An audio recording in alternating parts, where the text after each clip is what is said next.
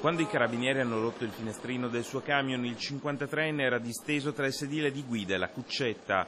Impossibile per lui raggiungere il telefono posato sopra il cruscotto per chiedere aiuto. Fatale è stato l'infarto che lo ha colto durante il sonno e lo ha stroncato mentre tentava di dare l'allarme. Ho visto il camion, mi sono fermato, era in moto. Sono sal- Era in moto, era in moto. Sono salito sopra la gomma per guardare dentro e l'ho visto disteso. Dopodiché ho chiamato il 112 subito.